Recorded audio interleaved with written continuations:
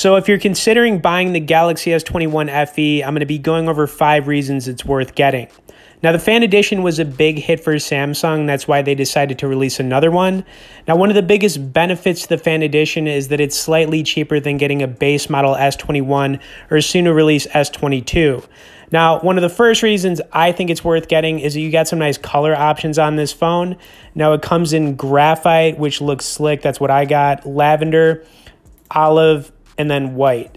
Now, if I wasn't going to get graphite, I think olive would have been a really good choice, but it is what it is. I would also recommend staying from white because obviously that'll get dirty real quick. Okay, the next thing I want to talk about is its big display in battery life.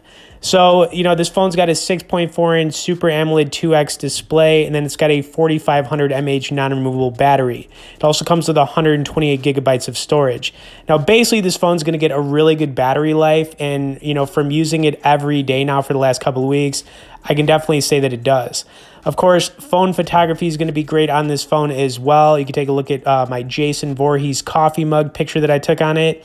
The phone also records in 4K at 60 frames per second. Now, the last thing I wanted to talk about was the sound quality and how good this phone is for watching video and playing games.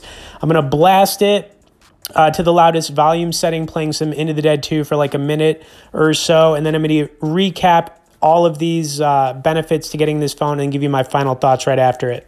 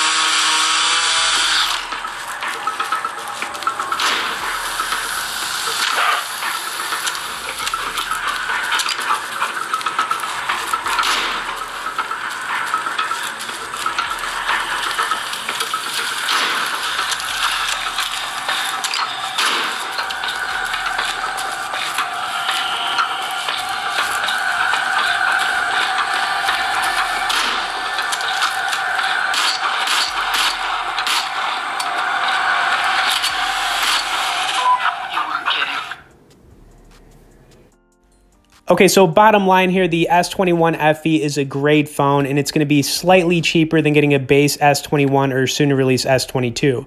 Okay, hope you guys enjoyed this one. Tap that like button, subscribe if you haven't, and we'll see y'all in the next video.